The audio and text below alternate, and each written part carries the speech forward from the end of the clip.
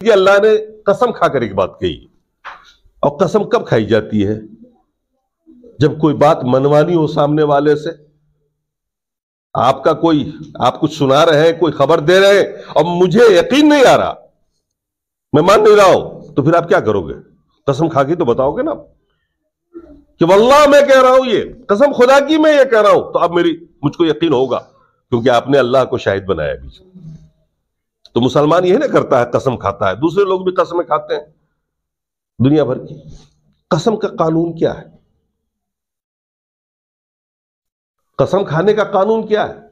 अपनी शरीयत के अंदर जिसमें आप हैं, अल्लाह के रसूल ने फरमाया, मन हलफा बगैर फकद अशरक। जिसने गैरुल्लाह की कसम खाई, उसने शिर किया। हम और आप आज़ाद नहीं है, किसी भी चीज़ की कसम खा लें।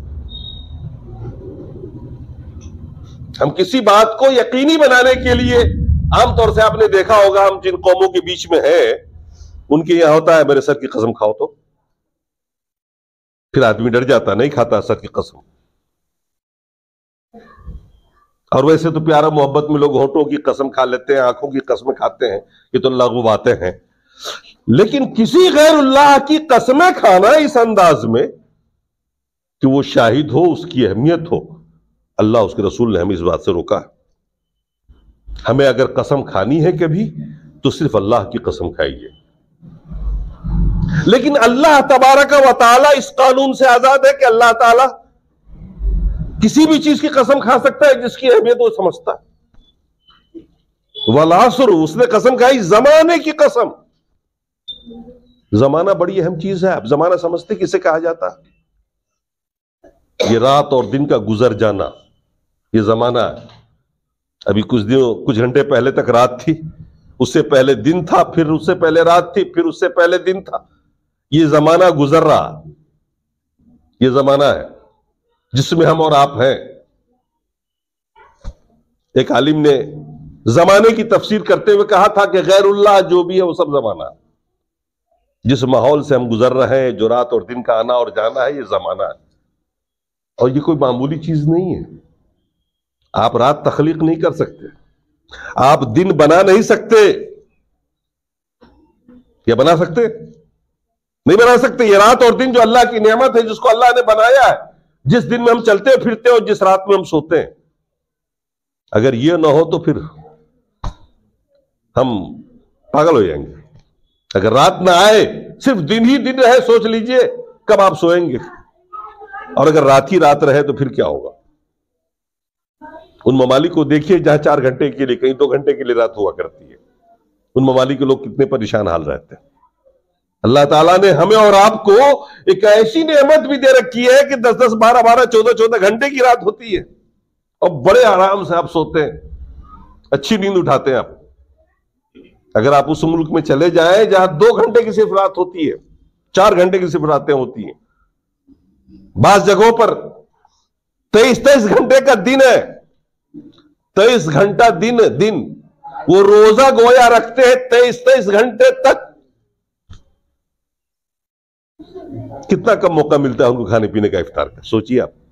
अल्लाह ताला ने हमें और आपको कितना मौका दिया हुआ है। लंबे टाइम तक खाते रहते हैं पूरी रात तक। तो ये बड़ी अहम चीज़ है। इसकी अहमियत को अल्लाह जानता है और हम नहीं जानते। अल्लाह ने कसम खाई, वल आसर। कसम है जमाने की। इल्लजीन आमनु। सारे घाटे में है इल्लजीन आमनु। हाँ घाटे में वो नहीं जो ईमान वाला। ईमान की वजाहत मैं हदीस से कर देता हूँ। हदीस जिब्राइल एक बहुत मशहूर हदीस है और बहुत लंबी हदीस है। उसमें जिब्राइल अमीन, जिब्राइल फरिश्ता, इंसान की शक्ल में अल्लाह के रसूल के पास आए, अल्लाह के रसूल साहबा के बीच में बैठे हुए थे, मस्जिद नबी के अंदर, और आकर उन्होंने पाँच सवाल किए। उनमें एक सवाल था। एक आम इंसान की तरह उन्होंने पूछा और साहबों को पता नहीं था कि जिब्राइल है। वो इंसान की शक्ल में आए थे। पूरी हदीस कभी बयान करूँगा, मौका मिला तो आज सिर्फ़ वो टुकड़ा। उन्होंने एक दूसरा सवाल किया था, पहला इस्लाम का सवाल था, दूसरा सवाल उन्होंने किया था, या मोहम्मद अखबिरनी अनिल ईमान। अय मोहम्मद बताइए ईमान क्या चीज़। है तो आइए सवाल का जवाब खुद अल्लाह के रसूल से ले लें। अल्लाह के रसूल ने जवाब में क्या फरमाया? अंतुमिन बिल्लाहि व मलाइकत ही व कुतुब ही व रसोल व बिल योमिल आखिर व बिल कदर खैर ही व शर छह चीज़ें गिनाई अल्लाह के रसूल ने। ईमान यह है कि तुम अल्लाह पर यकीन रखो। अल्लाह के रसूलों पर, अल्लाह की नाजिल करदा किताबों पर। अल्लाह के फरिश्तों पर, योम आखरत पर और तकदीर पर। गोया ईमान के ये छह पिलर हैं, छह अरकान हैं, इन छह चीज़ों से मिलकर ईमान बनता। अल्लाह पर ईमान हो, अल्लाह के रसूलों पर, अल्लाह के पैदा करदा मखलूक फरिश्ते पर, अल्लाह की नाजिल करदा किताबों पर योम आखरत पर और तकदीर पर। अगर इन छो में से कोई एक भी कम है या किसी एक में भी शुभा है तो फिर वो मोमिन नहीं। इन छो को मानना किस तरह? कैसे हम माने? क्या कैफियत हो? ईमान रखना ईमान रखना हम लोग रात दिन बोलते हैं। ये क्या चीज़ है ईमान रखना? अच्छा अभी दिन है कि नहीं? दिन है कि नहीं? मानते हैं ना? और पूरे अंदर से आप मानते हैं। कोई शक तो नहीं किसी को? गोया आपका ईमान है कि दिन है। गोया आपका ईमान है कि इस वक्त क्या है? दिन है। आप मौजूद है। यहाँ मौजूद है, शुभ तो नहीं ना आपको? आप खुतबा सुन रहे हैं, नमाज़ में मौजूद है, इसमें कोई शुभ तो नहीं? गोया आपका ईमान है इस बात पर। आप मुझे देख रहे हैं। अपने सामने बोलते हुए शक तो नहीं ना आपको? खाब तो नहीं देख रहे हैं आप? अगर आपका इतना ही यकीन है कि बिल्कुल मैं देख रहा हूँ आपको अपनी निगाहों के सामने, इसमें कोई झूठ नहीं है, कोई खाब नहीं है ये। इसे कहते हैं ईमान। मान लेना। दिल से मानना। यूँ मान लेना नहीं। तो ये बिल्कुल यकीन कामिल हो जाए। अल्लाह पर ईमान रखने का मतलब क्या होता है? किन चीज़ों पर हम ईमान रखें। इसको समझ लीजिए। आज मैं बहुत मोटा मोटी बयान करूँगा। तफसील नहीं, तफसील पहले भी मैंने बयान किया और आइंदे भी करता रहूँगा इंशाला क्योंकि ये बुनियादी चीज़ है आपकी ज़रूरत का। अंतु मैंने बिल्ला अल्लाह पर ईमान रखो। मतलब क्या अल्लाह पर ईमान रखने का? ले वजूद ही। नंबर एक, अल्लाह मौजूद है। कोई काल्पनिक चीज़ नहीं है, कोई तस्वुराती चीज़ नहीं है। क्या आप मुजबजब रहे पहली बात, आप इस बात पर ईमान रखें कि अल्लाह मौजूद है। ये बड़ी बात मैं कह रहा हूँ, दिमाग में रखिएगा। अल्लाह के मौजूद होने पर ईमान, कि अल्लाह मौजूद है। अर्श आज़म पर है, मौजूद है। इसमें कोई तजब्जुब नहीं होना चाहिए, कोई शक नहीं होना चाहिए। अगर किसी किस्म का शक है तो फिर वो ईमान में नहीं हो। वह बेरूबूबियत ही। इस बात पर ईमान रखें कि अल्लाह रब है, सारी कायनात का खालिक और पालनहार है। दुनिया में जितनी भी चीज़ें हैं, हम हो, आप हो, और दिगर मखलूक जितने भी हैं, सबका पैदा करने वाला कौन है? वो एक रब है, वही अल्लाह। और वही उसकी सारी जरूरियात को पूरी कर रहा और रब है, चूँकि वो पालता है ना, एक बच्चे को पैदा करता है और फिर वहीं से उसकी गजा फराम कराता है, फिर वो आहिस्ते आहिस्ते पलता चला जाता। तरबियत करता है ना वो तो फिर उसका मालिक भी कौन होगा? इस कायनात का मालिक कौन होगा? ज़ाहिर सी बात है, जिसने पैदा किया वही तो मालिक होगा ना। भाई, किसान खेती उपजाता है तो उसका मालिक वही होता है, हम और आप तो नहीं होते। जो जिस चीज़ का मूजिद होता है, आविष्कारक होता है, वो उसका मालिक होता है। तो कायनात का मालिक कौन है?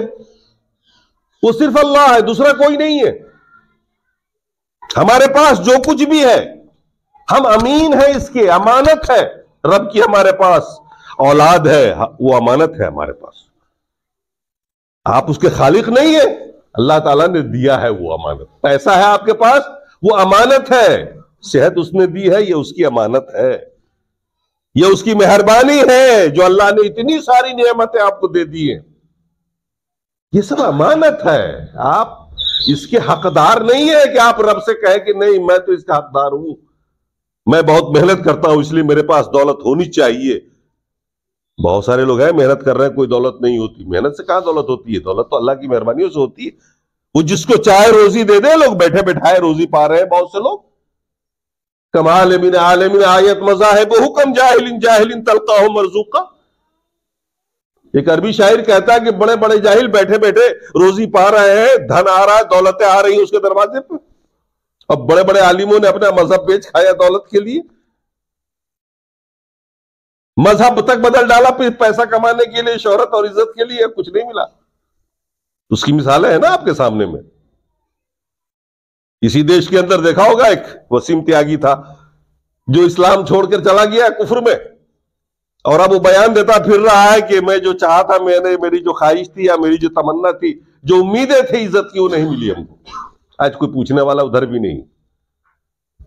धोबी का गधा, ना घर का रहा, ना घाट का रहा। इधर बीवी बच्चों तक ने लात मार दिया। अपने समाज ने भी ठुकरा दिया, और उधर दूसरे समाज ने भी कबूल नहीं किया। ये उसका हाशिर हो गया। अल्लाह जिसे चाहे इज़्ज़त दे, जिसे चाहे जिल्लत दे, जिसे चाहे रोजी दे, जिसे चाहे न दे, उसके ऊपर कोई है नहीं जो जवाब तलब करेगा। तो अल्लाह के वजूद पर ईमान, उसके रुबूबियत पर ईमान और उसके मालिक होने पर ईमान, वो बेतदबीर ही। आखिरी बात, वो मुदब्बिर कायनात है। पूरी कायनात का मुंतजिम वही है, इंतज़ाम वही करता है। आप नहीं करते हो, आपका बच्चा कल क्या खाएगा? उसका मुंतजिम आप नहीं हो। आप तो सिर्फ़ एक ज़रिया बनते चले जाते हो, करवाता वही है। आपके बच्चों के लिए या आपके घर के लिए या पूरी दुनिया के लिए? कौन करता है इंतज़ाम? कीड़े मकोड़े, अगर आप एक पिलर को तोड़िए ना उसमें से सांप निकलेगा, कीड़े मकोड़े निकलेंगे। कौन रोजी पहुंचाता है उसमें? कौन पहुंचाता है? वही रब है। जिसने पैदा किया, वही उसकी किफालत भी कर रहा, वही उसको पहुँचा भी रहा। तो अल्लाह पर ईमान रखने का मतलब होता है इन तमाम बातों का यकीन आपके दिल के अंदर हो। हम जब कहते हैं, हमारा रब अल्लाह है, बड़े फख्र से कहते हैं। अब बड़ी खुशी के साथ कहते हैं, बड़ा मज़ा आता है कहने में। और जब ये कहते हैं तो ये सारे तस्वूर जिन में दिल दिल दिमाग में बैठे हुए होते हैं। मेरा रब मौजूद है। वो मुदब्बिर कायनात है, मेरी मुश्किलात को भी वही दूर करेगा, मेरी परेशानियों को भी वही दूर करेगा। मोमिन कभी गमगीन नहीं होता, इसलिए नहीं गमगीन होता कि वो जानता है मेरा जो रखवाला है ना, मेरा जो मालिक है ना, वो इतना ताकत, इतनी ताकत वाला है कि हमें किसी और की ज़रूरत नहीं। हमें किसी और के सहारे की ज़रूरत नहीं। कायनात का मुदब्बिर है वो। मेरे लिए क्या नहीं कर सकता है? वो क्या नहीं उसने किया?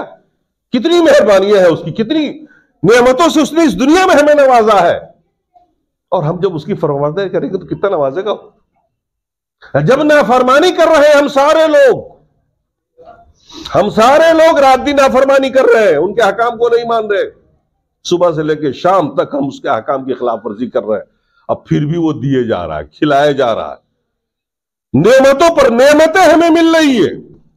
बताइए, हम जैसे, आप जैसे नाशुक्रा को इतना दे रहा है।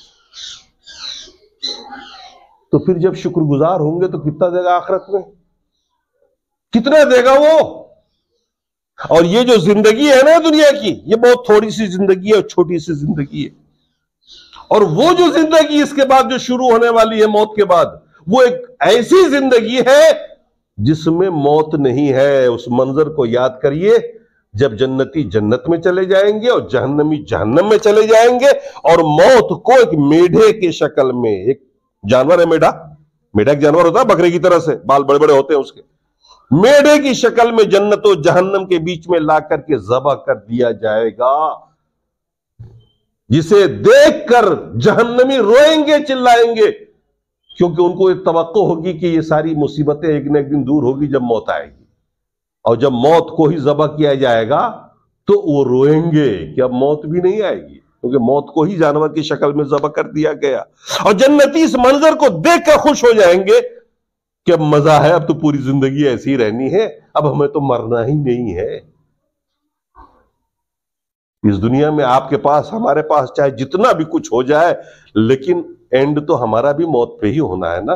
एक रोज मौत जिसका दर खटखटाएगी बुझ जाएगा चिराग कमर फिर उसके बाद क्या? अल्लाह तबारक वाली हमें और आपको समझने की तोफ़ी अता फरमाए। आपने ईमान को आप समझाए इजमाली तौर पर। इसको याद करिएगा, जहन में बिठाइएगा कि ईमान के छह अरकान है। इन छह चीज़ों से मिलकर ईमान बनता है। बाकी चीज़ों की तफसील भी आपके सामने में इंशाल्लाह आने वाले खुतबात में हम रखेंगे। अकूल कौली वस्तफ़र